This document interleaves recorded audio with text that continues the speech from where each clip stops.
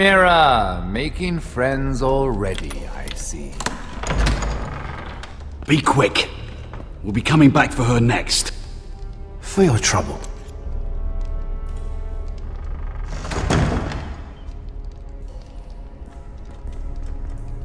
What? Nothing to say? Block will do that to you.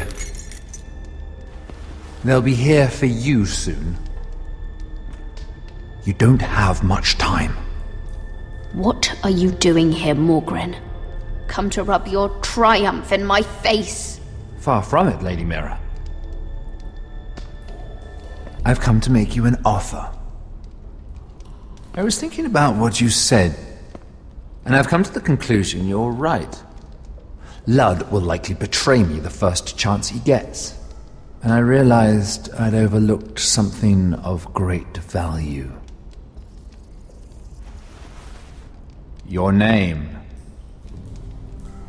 I want you as my wife.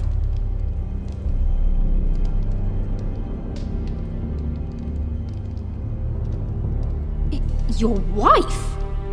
Have you lost your mind? Not at all. This makes a lot of sense for both of us.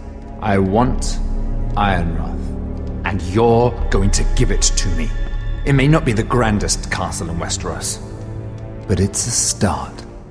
Marrying me won't help you get Ironrath. The title belongs to my brother. He's the rightful lord. I am well aware of the king's law, Mira. You think I haven't thought about that?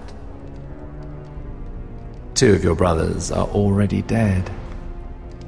That idiot Ludd will take care of the rest. One way or another. And it won't take me long to get rid of the harebrained fool myself. I'm sorry, Mira. None of your family will survive. Ironrath will fall to you. And through marriage, it will become mine. A holdfast in the north can only help my ambitions. Until I cut your throat in your sleep. Doubtless you'd try, given half the chance. But you won't be. It's fitting our betrothal begins in a cell. I'd say it's a perfect symbol for the rest of your life. you plan to keep me locked up? Well, perhaps not literally. If you play your part and produce my heirs.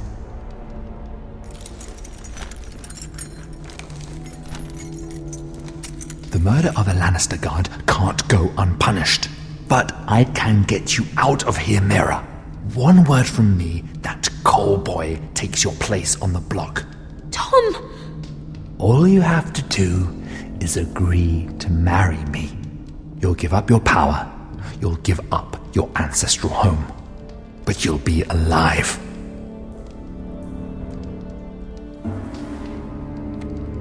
So, Mira, what do you say?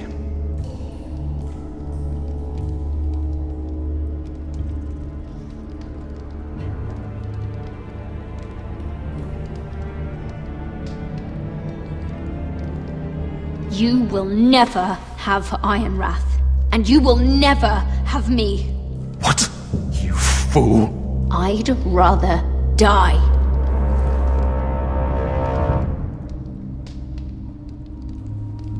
Fine. Have it your way.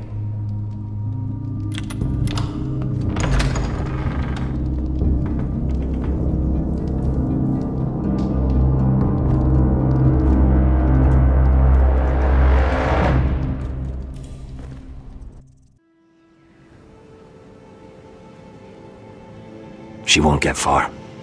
Not out here.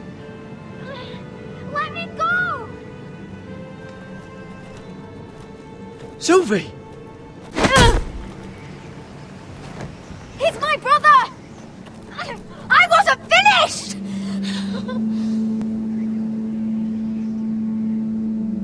When you're finished here, come see me. There's something I must show you. I don't trust these people, Gared. Which was why I had to see Cotter.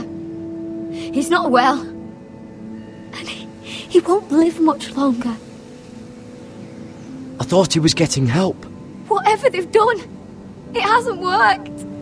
There's nothing that will save him now. Which is why I needed to do something for me. I didn't want him to suffer anymore, Gared. Just to ease his pain, but... That's when they found me. The Nightshade. I need you to be the one to end his suffering. But It's our way, Gared. You have to feed it to him. I'm trusting you to do this, Gared. You're the only one who can. I'm sorry, Sylvi. I can't do it. Cotter's my friend. Then you won't let him suffer any longer. You'll see. He's in so much pain.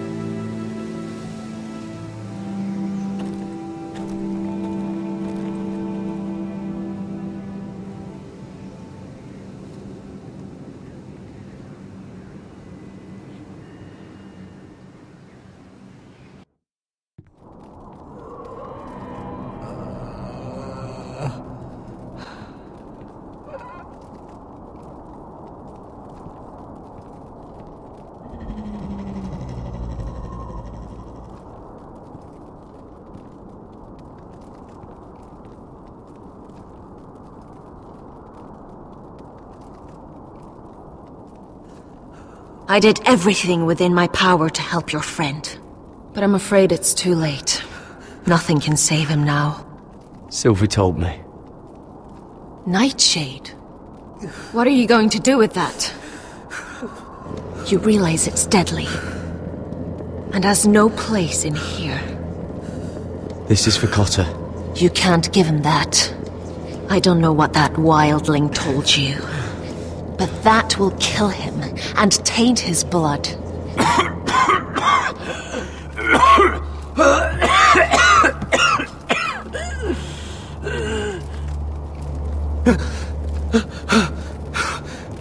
Gared. Gared, is that you? It's me, Cotter. I'm here. Where's Sylvi? I want to see her. Where is she? Did something happen to her? She can't see you right now. But don't worry. She's fine. I thought, I thought they took her away.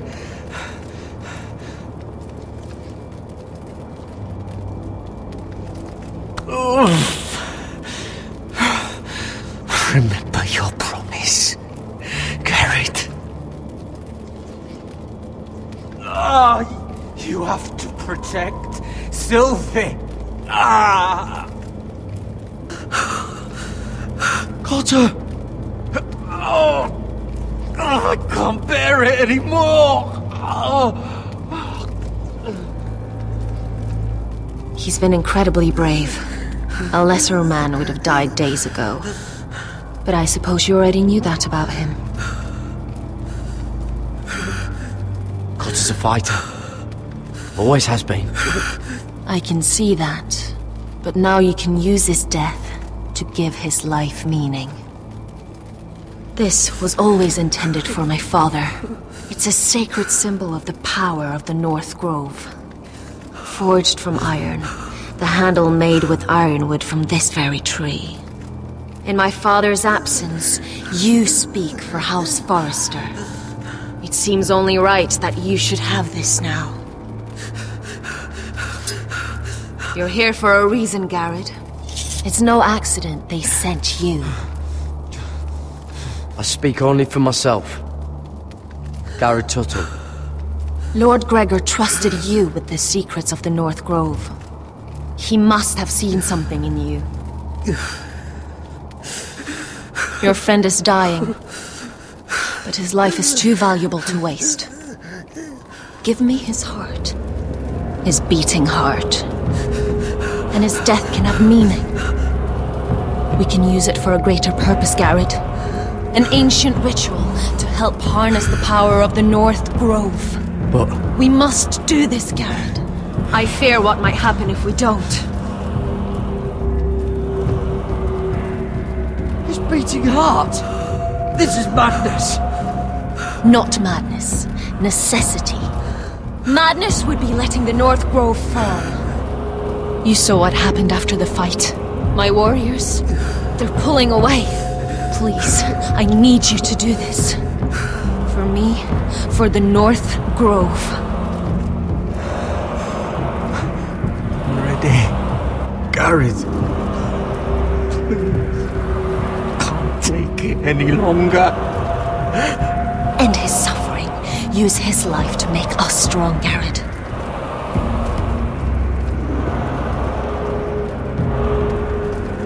Give him that poison, and his blood will be useless. Let us use his blood to give us strength. Out there, you saw what's possible. That was only the beginning. Perform the ritual, and we can prepare for the coming winter. I'm sorry, but I can't do it. Cotter's my friend. I wouldn't be here if not for him. And I have to respect what Sylvi asked me to do. Then so be it.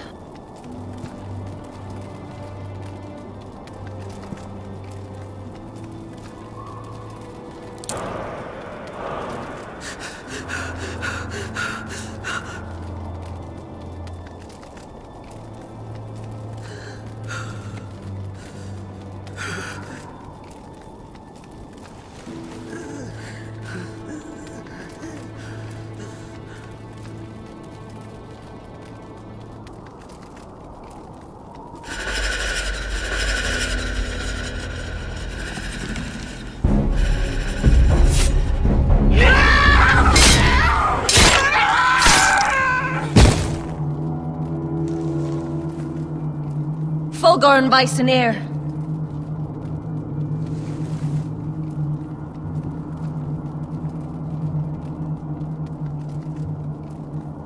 We must burn the body.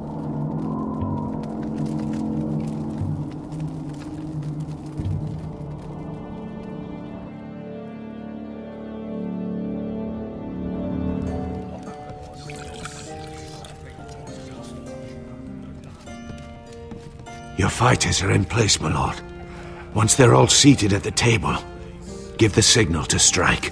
Remember, no matter how much they might provoke you, we must let them think they've won.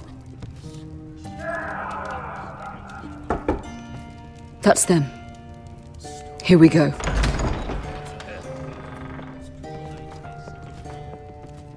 Gwyn, Clever. Send the girl first. Don't let her play with your head, little brother. Lady Forrester. My apologies for arriving unannounced. I was hoping I might have a word in private with Asher.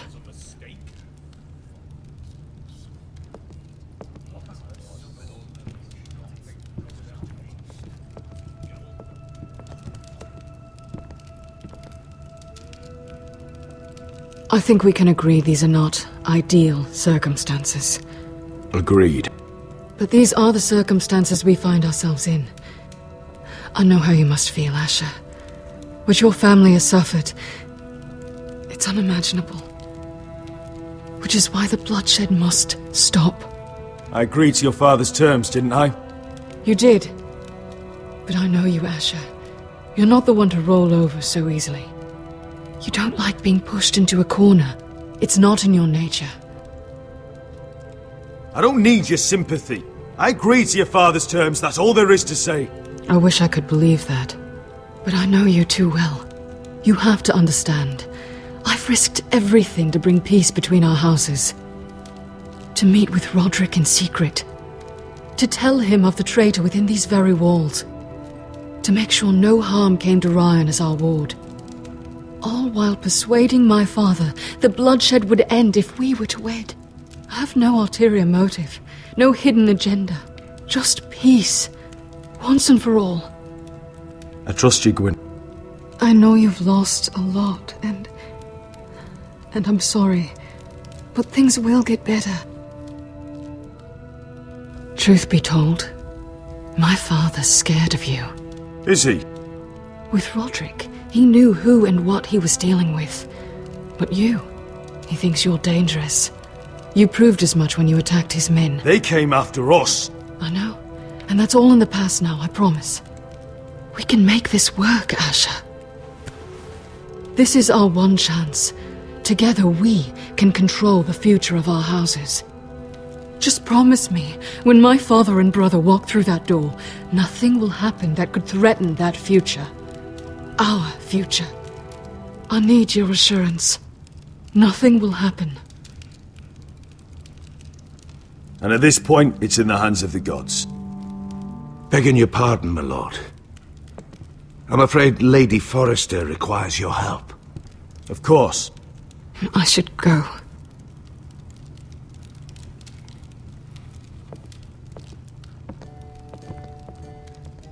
What help does my mother need? Sorry, my lord. It was the best I could think of. But we have everything in place. How should we proceed? Ready the men. Of course, my lord.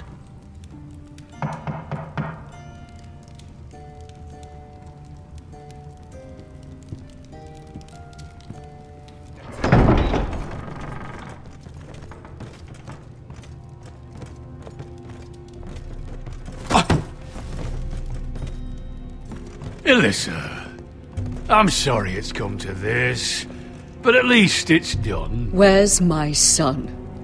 Right to it then.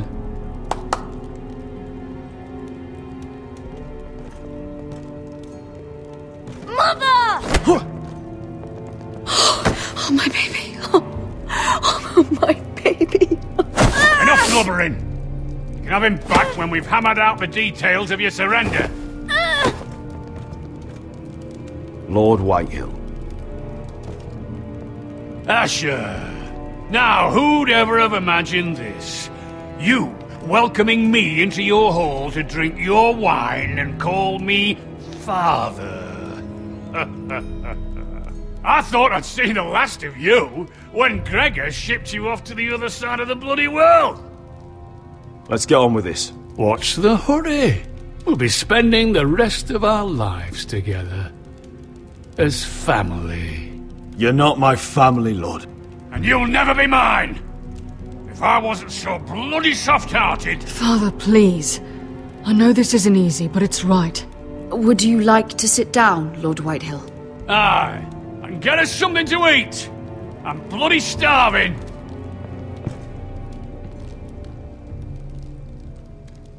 We thought you'd like to sit here, Lord Whitehill.